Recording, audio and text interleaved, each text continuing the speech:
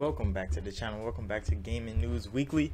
And um this week haven't been been too too thick on gaming news. The sony showcase happened.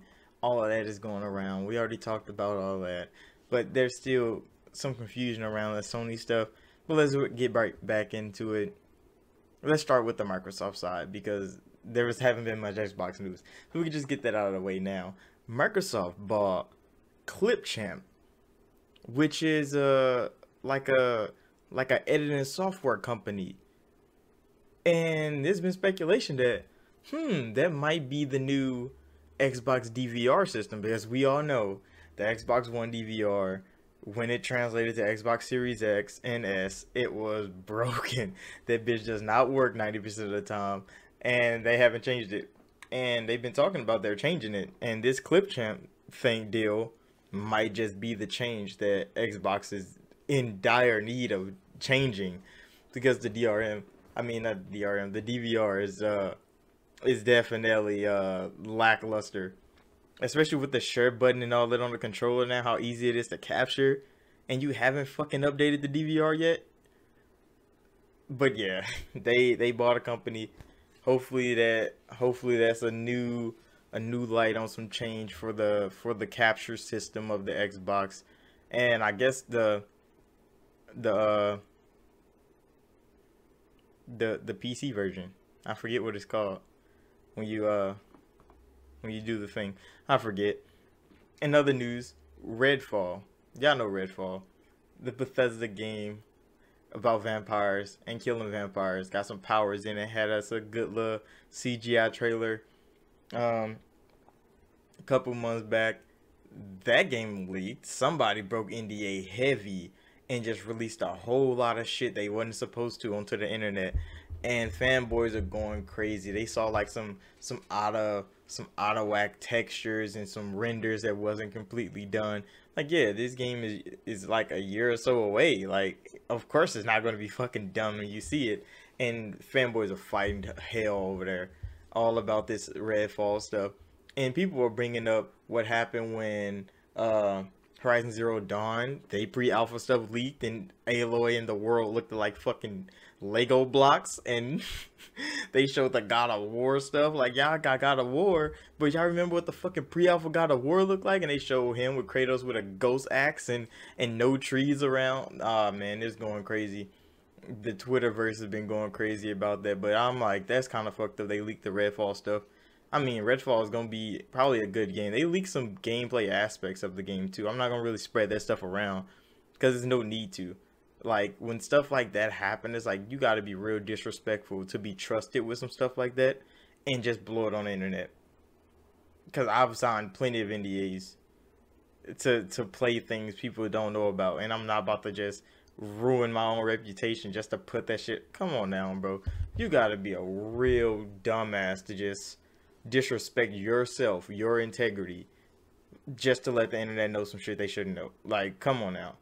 But that's what leakers and shit do. That's what they do. That's how they get they get they hype off or I don't know what the fuck you gain from that. I you gain nothing. Like I don't understand. But they did. And that's really it for the Xbox news other than Far Cry 6, they was announcing that they giving free upgrades right after Sony said no more free upgrades for cross-gen games. Zero. They giving y'all Horizon and they said we're done. No more cross-gen games for free. Y'all paying for upgrades. And then Far Cry 6 is like, well, our upgrade is free. if you want Far Cry 6, you get a free upgrade to the next gen console. And then yeah, that was like, I don't know, throwing shade at Sony part. But Sony did what they did, and they fans love that shit. So they got they're not gonna stop now, and that leads into this Sony stuff. Because Sony just had their showcase, we all know they dropped a whole lot of some trailers. They dropped they dropped some games, you know, remastered show from last year, all the same games, a little bit more of those. Three new things in the showcase, which was Spider Man, no release date. Uh, Wolverine, no release date. KOTOR, no release date. KOTOR remake, everybody's going off about that. They're like, oh, Sony got KOTOR. Sony doesn't have KOTOR, bro. Like they might have said that in their trailer, just to mislead y'all. But KOTOR is going to PC and PlayStation 5 at the same time. and it's timed for Xbox. I don't know why people think KOTOR is exclusive to PlayStation now. Like, like when did they never said that? Sony never said that themselves. Their fans is running wild with this claim that Sony just bought KOTOR. Like the original KOTOR is an Xbox game, and it's always gonna be an Xbox game. Yeah, they got the fucking remake of the game. Time to them, just like they did Final Fantasy VII. It's still time to them when the time exclusivity is over, it's gonna go to other platforms. So yeah, Sony has timed exclusivity for console, but it's going to PC day and date. We just need to stop falsifying that. And with the Sony, with Sony and Jim Ryan saying that ten dollar upgrades for all cross-gen games after Horizon, got me thinking that Spider-Man is going to be cross-gen, like Spider-Man Two. I don't think that's going exclusive to PlayStation Five. I don't think it is. Just like God of War and Horizon and Gran Turismo, I don't think Spider-Man 2 would be exclusive to PlayStation 5 because they wouldn't announce $10 upgrades for more cross-gen titles from Sony if they wasn't making more of them. They haven't announced more of them yet, but they wouldn't announce $10 upgrades if it was only three more cross-gen games. That's just how my mind works. Like I'm thinking like that. Like if it was only three more of them, y'all could have gave out three cross-gen games for free. Horizon, Gran Turismo, God of War. Because those games got forced into the into the future because y'all delayed them. Those should have just been free. Three more of them would have been free, that would have been fine. But Sony's like every cross-gen game after Horizon, we paying ten dollar upgrades. And I'm like, there has to be more than just the three then. Like it has to be more. But it could be just me you know, thinking bigger. Sony might just be like, oh, we just don't want to give three more games out for free. But who knows? Who knows? That's Sony over there. They're doing their thing. In other news, there was rumors going around. Some of the dumbest rumors I ever heard. Y'all probably heard them too. But I'm going to talk about it right now. The PlayStation 5 Pro. Who the fuck came up with that shit? Like, everybody know the PlayStation 5 came out underpowered versus the Xbox Series X, even though they're performing well. The PlayStation 5 is performing well. They got a revision. It's performing well.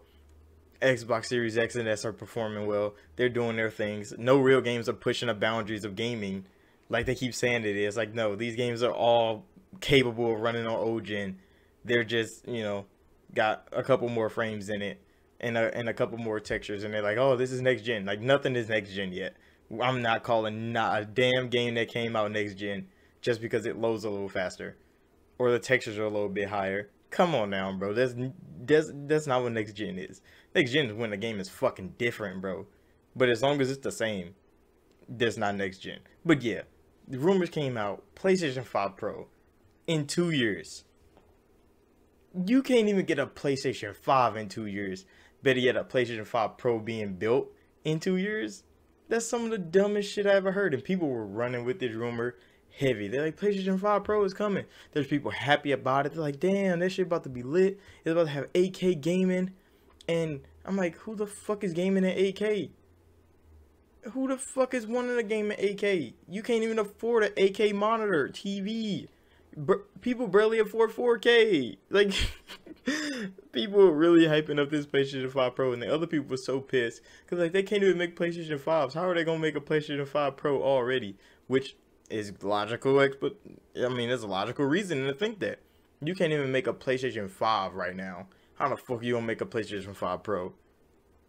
But yeah, that was another fucking rumor going around. A dumbass rumor. That's all I thought it was. When I heard it, I'm like, this is fucking stupid, bro. That was some of the dumbest shit I ever seen. But yeah, that's it for Gaming News Weekly this week. Cause like everything else is, I mean, we already really talked about it. There's nothing real big news going out right now except everybody hyping up Wolverine's hand and everybody's hyping up Wolverine's hand right now and uh talking about Elder Scrolls 5 being exclusive to Xbox is a bad thing. other than that, gaming news has been real fucking dry this week. So thank you all for watching. Like, subscribe if you're new, and I'll see y'all in the next video.